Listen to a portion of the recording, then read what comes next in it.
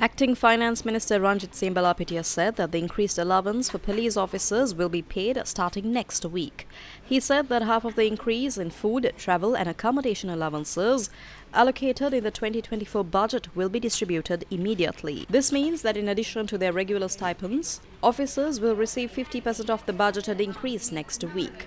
Junior officers with a current stipend of 17,000 rupees will receive an additional 5,900 rupees immediately.